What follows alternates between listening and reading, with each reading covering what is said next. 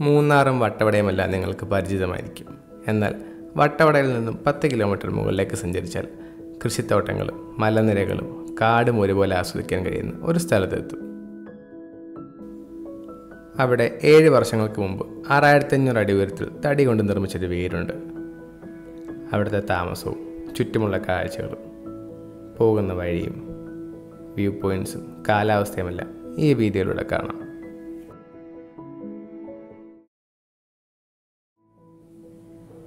ചെറിയ മഴയോടുകൂടി കോടമഞ്ഞിൽ മൂടിക്കിടന്നാണ് മൂന്നാർ ഞങ്ങളെ സ്വാഗതം ചെയ്തത്.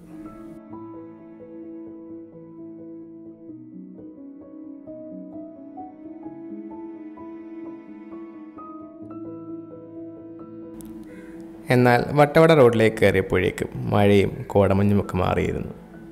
ഈ റോഡ് എല്ലാവർക്കും അറിയുന്നതുകൊണ്ട് അധികം കാണിക്കുന്നില്ല. നേരെ നമുക്ക് ആദ്യത്തെ സ്റ്റോപ്പായ എല്ലപ്പെട്ടിയിലേക്ക് നീങ്ങാം. കൃഷിയിടങ്ങളും തേയിലത്തോട്ടങ്ങളും ബാക്ക്ഗ്രൗണ്ടിൽ മലനിരകളുമെല്ലാം ഇവിടെ നിന്ന് കാണാം. ബൈക്കിൽ വരുമ്പോൾ എന്റെ ചായ സ്റ്റോപ്പാണ് ഇവിടെ. ഇവിടെ നിന്ന് അല്പം കൂടി മുന്നോട്ട് പോയിട്ട് കുറച്ച് നടന്നാൽ തമിഴ്നാട്ടിൽ കയറാം. Top station view point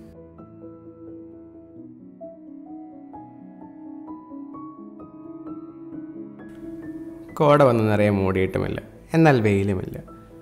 top സ്റ്റേഷനിലെ കാഴ്ചകൾ ആസ്വദിക്കാൻ ഇത് തന്നെയാകും ഏറ്റവും നല്ല ക്ലൈമറ്റ്.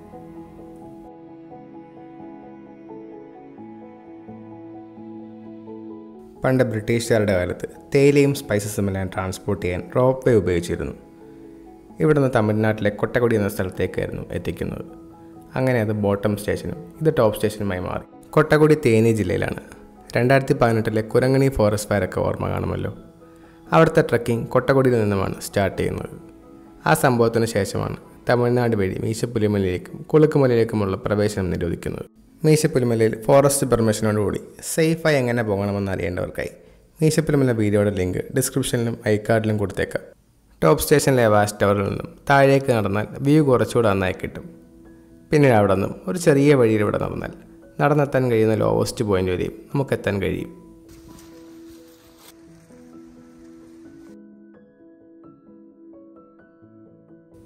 ഇവിടെ നിന്ന് കാണുന്ന മലനിരകളിലൊന്ന് മീശപ്പുലിമല പീക്കാണ്. കുറച്ചുകൂടെ താഴോട്ട് നോക്കിയാൽ ചെറിയ രണ്ട് ഷെഡുകൾ കാണാം. ഫോൺ ക്യാമറയിൽ അത്രയ്ക്കും ക്ലിയർ അല്ല. കാരണം നല്ല ദൂരമുണ്ട് ഇവിടെ നിന്ന് ടോപ്പ് സ്റ്റേഷനിൽ നിന്നും മീശപ്പുലിമലയിലേക്ക് ഒരു ട്രക്കിംഗ് റൂട്ടുണ്ട് രണ്ട് ദിവസം ദൈർഘ്യമുള്ള ട്രക്കിംഗ് ആ ഷെഡുകളുടെ അടുത്തൂടെയാണ് പോകുന്നത്. അതിലെ ട്രക്കിംഗ് ഇപ്പോൾ അലോഡാണെങ്കിൽ കൊടും കാട്ടിലൂടെയുള്ള ഒരു വീഡിയോ ഈ വർഷം ഇടുന്നതായിരിക്കും.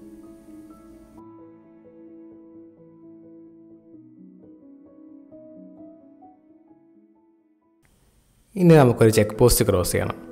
പാമ്പാടും ഷോല നാഷണൽ പാർക്കിന്റെ ചെക്ക് പോസ്റ്റ് ഇവിടെ നിന്നാണ് വട്ടവടയിലേക്ക് പോകുന്നത്. ആറ് മണിക്ക് ക്രോസ് ചെയ്യുന്ന ചെക്ക് പോസ്റ്റിൽ വണ്ടിയുടെ ഡീറ്റെയിൽസ് കൊടുത്താൽ എന്റർ ചെയ്യാൻ കഴിയും.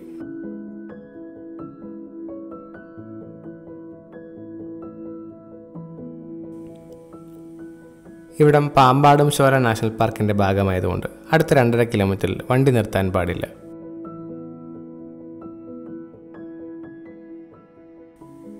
ഇനി അങ്ങോട്ട് വഴിയിൽ നിറയെ ഗ്രാൻഡ് മരങ്ങൾ കാണാൻ കഴിയും.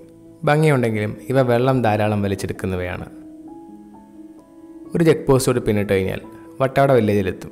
അവിടെ നിന്ന് ലെഫ്റ്റിലേക്ക് താഴോട്ട് ഇറങ്ങിയിട്ട് പിന്നീട് കയറ്റം കയറണം. പഴത്തോട്ടത്തിലേക്ക് നമുക്ക് അങ്ങോട്ടാണ് പോകേണ്ടത്. കഴിഞ്ഞ ദിവസങ്ങളിൽ പെയ്ത മഴ കാരണം മണ്ണിടിച്ചിലുണ്ടായിട്ടുണ്ട്. അതുകൊണ്ട് തന്നെ അടുത്ത പത്ത് കിലോമീറ്റർ പോകാൻ ഏകദേശം ഒരു മണിക്കൂറെങ്കിലും വേണ്ടി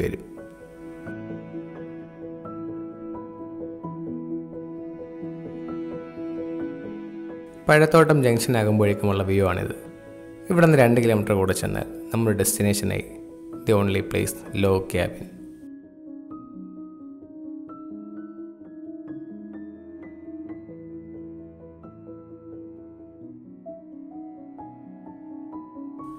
Low cabin മാത്രമല്ല ഇവിടുത്തെ പ്രത്യേകത. അത് നിൽക്കുന്ന സ്ഥലം കൂടെയാണ്. ഇവിടെ നല്ല വ്യൂ ഒക്കെ രാവിലെ കാണിച്ചു തരും. അതിനു മുമ്പ് നിങ്ങൾ റൂമും അടുക്കളയൊക്കെ ഒന്ന് കണ്ടു നോക്കൂ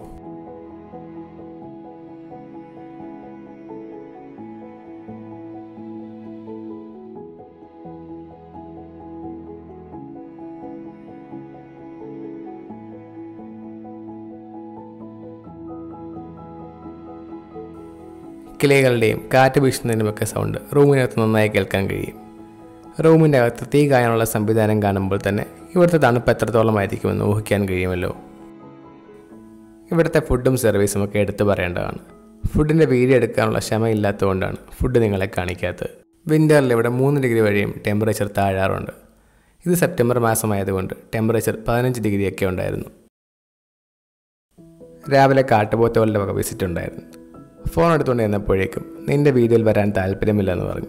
അവർ ഉള്ളിലോട്ട് മാറിക്കളഞ്ഞു. ഇതാണ് ഇവിടുത്തെ വ്യൂ. ഒരു സൈഡിൽ കാട് മറ്റേ സൈഡിൽ മല. പിന്നെ ഇവിടെ നൽപ്പം നടന്നാൽ കൃഷിത്തോട്ടങ്ങളും കാണാം. നടക്കാൻ പോകുന്നതിന് മുൻപായി ഇവിടെ മൊത്തം ഒന്ന് കാണിച്ചു തരാം. നിറങ്ങളെ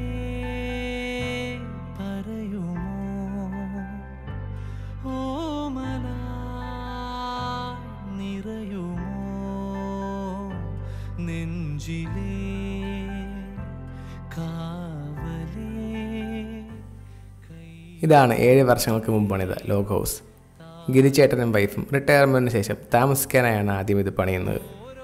പിന്നീട് കുറേ നാളുകൾക്ക് ശേഷം ഗസ്റ്റുകൾക്കായി ഓപ്പൺ ചെയ്തു കൊടുത്തു. ഇവിടെ ആകെ മൂന്ന് റൂംസാണ് ഉള്ളത് അഞ്ച് പേർക്ക് ആറായിരത്തി അഞ്ഞൂറ് രൂപയാണ് ഒരു റൂമിന്റെ ചാർജ് വരുന്നത്. എക്സ്ട്രാ ബെഡുള്ള റൂമാണെങ്കിൽ ഏഴായിരത്തി അഞ്ഞൂറ് രൂപയാകും. പിന്നെ ഫുഡിന് എക്സ്ട്രാ പേയ്മെന്റ് നൽകണം. ബുക്ക് ചെയ്യാനുള്ള നമ്പർ താഴെയുണ്ട്.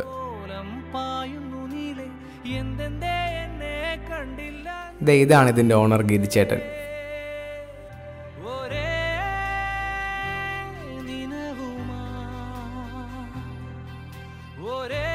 ഇവിടെ നിന്ന് വേറെ എങ്ങും പോയില്ലെങ്കിൽ കൂടെ നല്ലൊരു ദൃശ്യം വരുന്ന കിട്ടും. അത്രയ്ക്കും നല്ല കാഴ്ചകളാൽ സമൃദ്ധമാണ് ഈ ലൊക്കേഷൻ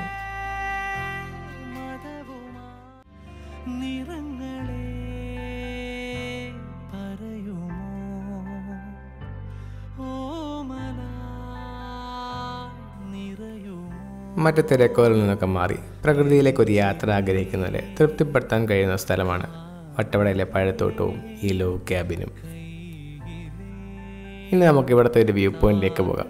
പഴത്തോട്ടം വ്യൂ പോയിന്റ് നല്ല കാലാവസ്ഥയും നല്ല സ്ഥലവുമൊക്കെ അല്ലേ വണ്ടി എടുക്കണ്ട നമുക്ക് നടക്കാം. ഇതേ ഒരു സൈഡിലേക്ക് കുന്നും അതിന്റെ നേരെ ഓപ്പോസിറ്റിൽ പഴത്തോട്ടം വ്യൂ പോയിന്റും താഴെ നമുക്ക് ഒരു ഗ്രാമം തന്നെ കാണാം. കൃഷിയിടങ്ങളും ചെറിയ വീടുകളും. പിന്നെ ആ കൃഷിത്തോട്ടങ്ങളൊക്കെ ഓരോ ലെയറായി തിരിച്ചിരിക്കുന്നത്. കാഴ്ചയുടെ ഭംഗി കൂട്ടുന്നുണ്ട്. ഭംഗിയും സൗന്ദര്യമൊക്കെ കാണുന്നവരുടെ കണ്ണുകൾക്കനുസരിച്ച് മാറുമെന്നല്ലേ? എന്റെ കണ്ണുകൾക്കും മനസ്സിനും വട്ടവടയിലെ ഏറ്റവും ഭംഗിയുള്ള സ്ഥലമെന്ന് ഫീൽ തന്നത് ഈ ഏരിയ ആണ് ഓൺലി പ്ലേസ് ലോ ക്യാബിന്റെ എൻട്രി ഇവിടെ നിന്നാണ് പഴത്തോട്ടം ജംഗ്ഷനിൽ നിന്നും രണ്ട് കിലോമീറ്റർ മുന്നോട്ട് വരുമ്പോൾ ലെഫ്റ്റ് സൈഡിലേക്ക് കാണാൻ കഴിയും. ബ്രേക്ക്ഫാസ്റ്റിന് ശേഷം ഇവിടെ നിന്ന് ചെക്കൗട്ട് ചെയ്യുകയാണ്.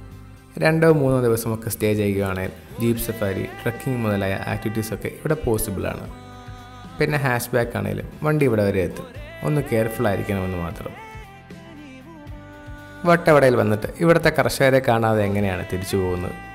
ഓണത്തിന് മുൻപായി വിളവെടുപ്പെല്ലാം കഴിഞ്ഞതുകൊണ്ട് കായകൾ നിറഞ്ഞെടുക്കുന്ന കൃഷിത്തോട്ടങ്ങൾ കാണാൻ കഴിയില്ല. അങ്ങനെ കാണണമെങ്കിൽ ഓണത്തിന് തൊട്ട് മുൻപായോ ഡിസംബർ മാസമോ വരുന്നതാണ് നല്ലത്. പിന്നെ എല്ലാം മഴയെ ഡിപ്പെൻഡ് ചെയ്തിരിക്കും. ഇവിടെ ക്യാരറ്റ് സ്ട്രോബെറി ക്യാബേജ് പയർ വെളുത്തുള്ളി തുടങ്ങിയവയാണ് പ്രധാന കൃഷി. അതിൽ ക്യാരറ്റ് ക്യാബേജ് വെളുത്തുള്ളി എന്നിവ വിന്റർ വെജിറ്റബിൾസ് ആണ്. അതുകൊണ്ടാവാം വട്ടവടയെ കേരളത്തിന്റെ വിന്റർ വെജിറ്റബിൾ വില്ലേജ് എന്ന് വിളിക്കുന്നത്. എന്റെ കൂടെ വട്ടവടയിലേക്ക് വിലപ്പെട്ട സമയം ചിലവഴിച്ചു വന്ന് നിങ്ങളോട് നന്ദി പറഞ്ഞുകൊണ്ട് വീഡിയോ അവസാനിപ്പിക്കുകയാണ്. വീഡിയോ ഇഷ്ടമായെങ്കിൽ സബ്സ്ക്രൈബും ലൈക്കും ഷെയറും ചെയ്ത് സപ്പോർട്ട് ചെയ്യുക. അടുത്ത യാത്രയിൽ കാണാം.